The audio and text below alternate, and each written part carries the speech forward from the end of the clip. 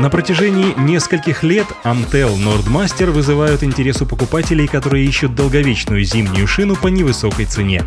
Если говорить о ходовых свойствах модели, необходимо заметить, что лучше всего ее эксплуатировать на очищенных или слегка припорошенных снегом дорогах. Здесь шина показывает понятную управляемость, а также хорошую курсовую устойчивость. На льду и талом снегу стоит внимательно следить за дистанцией и отказаться от экстремального вождения.